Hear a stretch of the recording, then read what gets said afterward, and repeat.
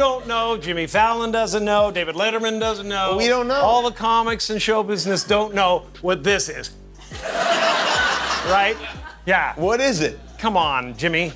Seriously, the time is up. People are hip to this kind of stuff. I, I'm here tonight to blow the lid off it, to be the whistleblower. I'm sick and tired of the secrets and the lies.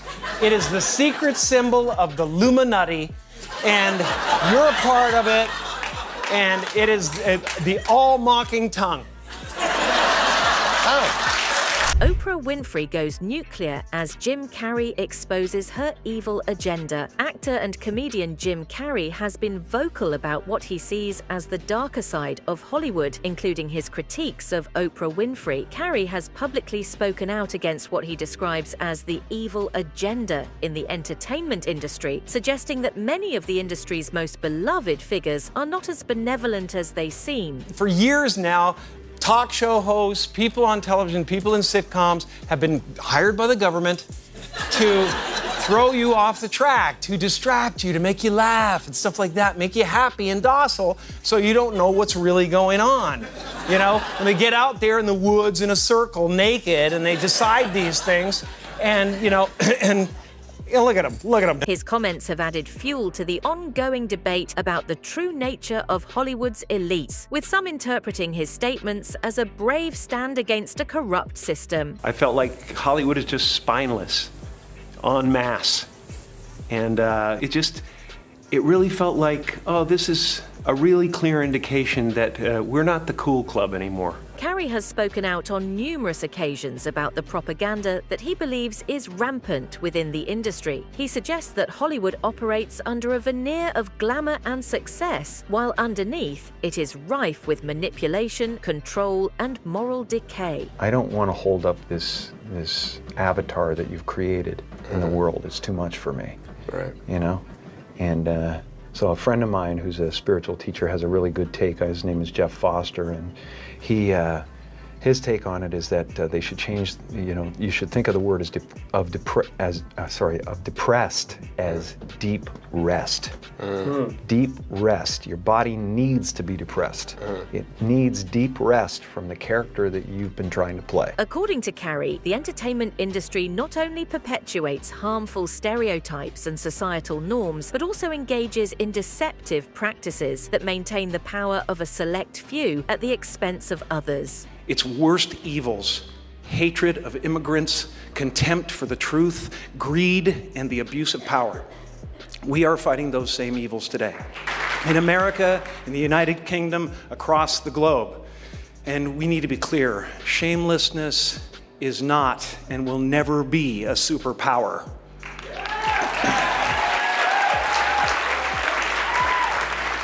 It is the mark of a villain.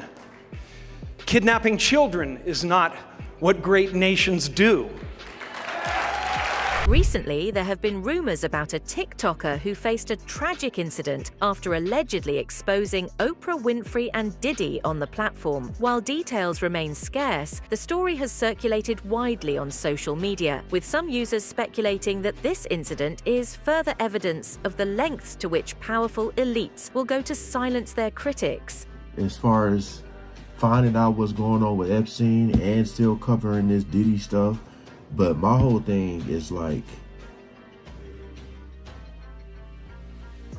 I mean, this video was uploaded um, two days ago, so I don't know if anything has came out about her. Um, about the Ky- Kylie. So my whole thing is like, if there was some weird shadiness going on with her channel, her page, um, and we've all, I can guarantee you, almost every person that do YouTube or any type of videos have experienced some type of weirdness going on. Talk about the truth. It's like they don't want it out. But my whole thing is like, I don't know if her family, if they even will, if anybody will even say anything. But to me, that sounds pretty crazy. You know, that sounds pretty crazy.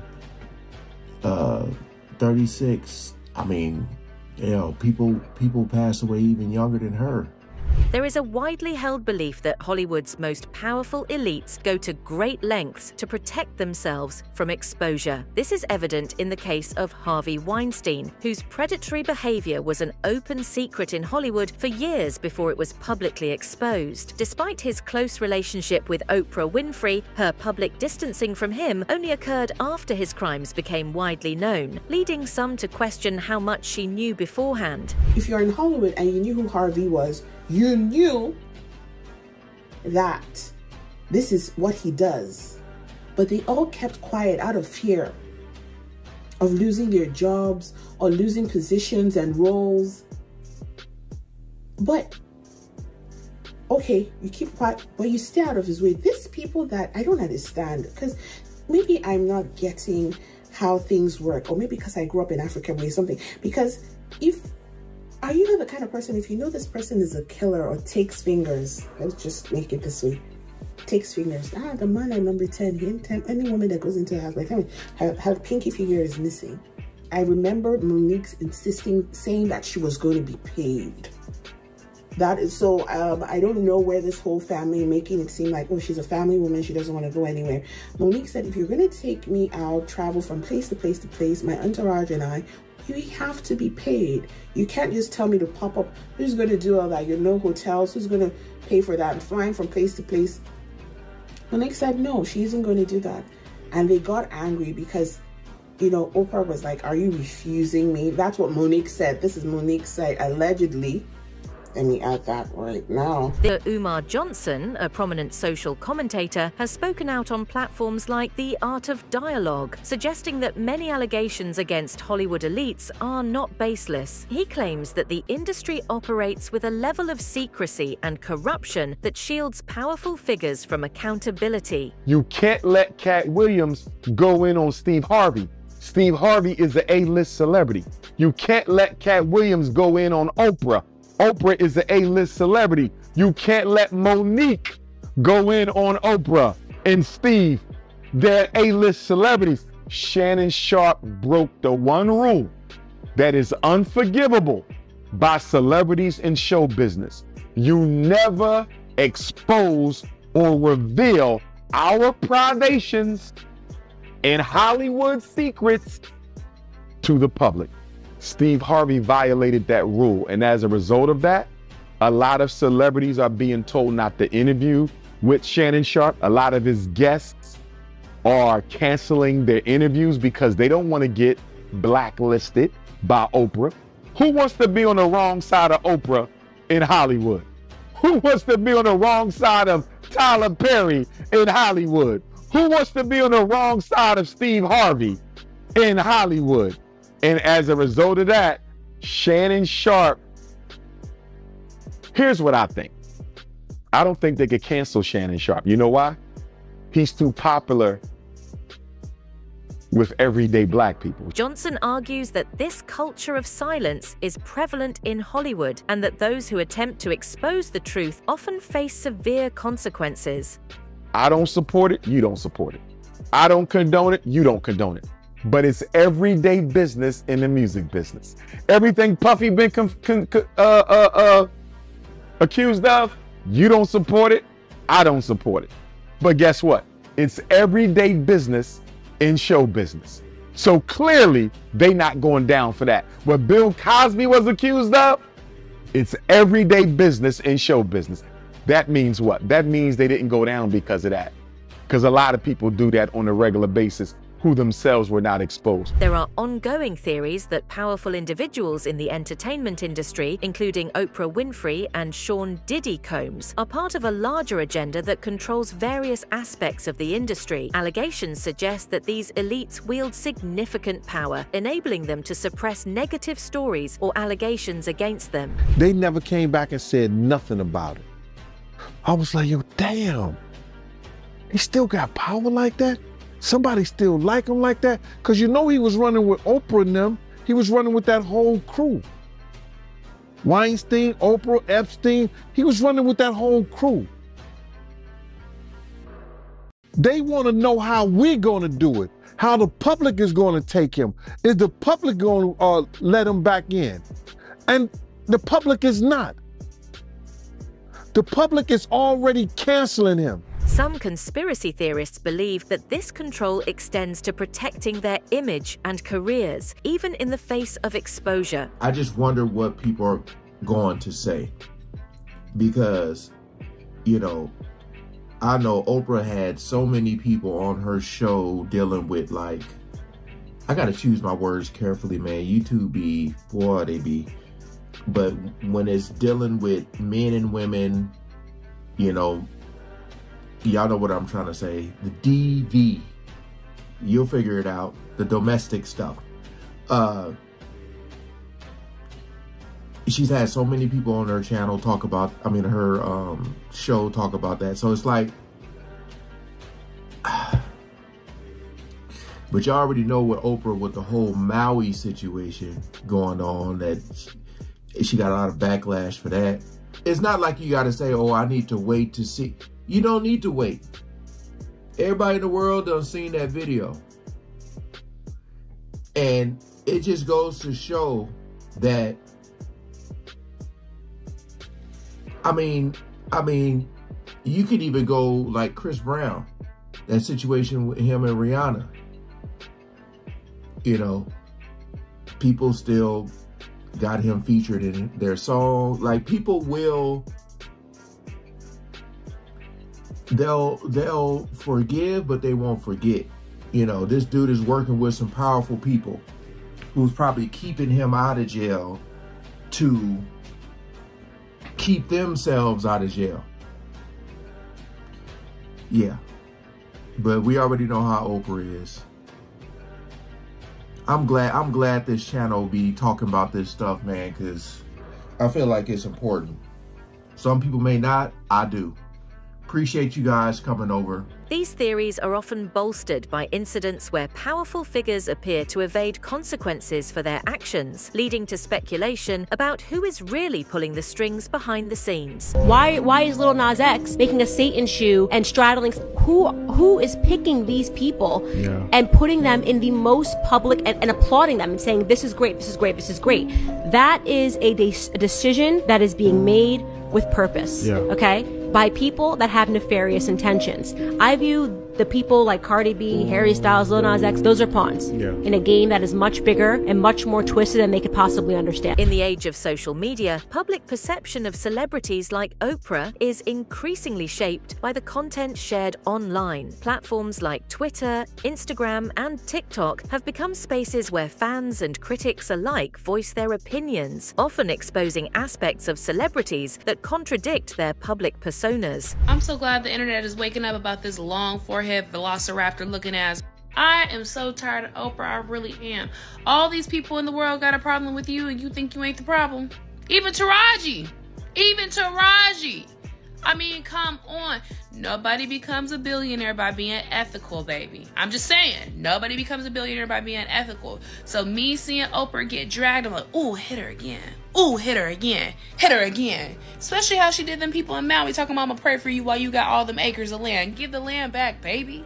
So anyway, I just been it's been nice seeing the internet drag Oprah. I know Monique is so happy that the internet is finally waking up about Oprah. Like she gives me the worst vibes ever. And the first red flag was that billionaire shit. That was the first red flag for me. But then she kept having issues with people and people kept talking about their issues with her and I'm just like, "Ooh, you a real nasty type of woman.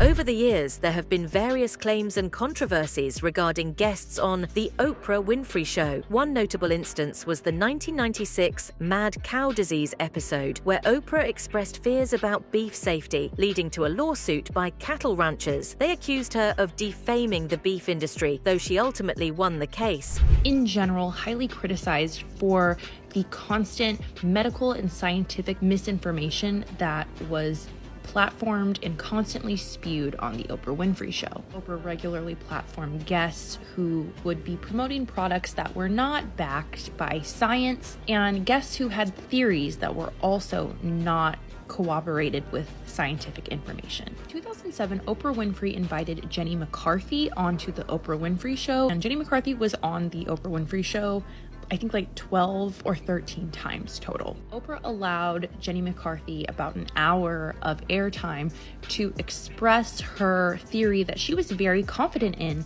that the reason her son was diagnosed with autism was because of the vaccines he had received. I'm here with Jenny McCarthy, who's become one of the most vocal advocates for parents of children with autism. Not once did Oprah offer any kind of pushback at Jenny's claims. Though she condemned his actions after the allegations surfaced, some critics questioned the depth of her prior knowledge or involvement. Give medical information, including Dr. Phil, Dr. Oz, specifically Dr. Oz.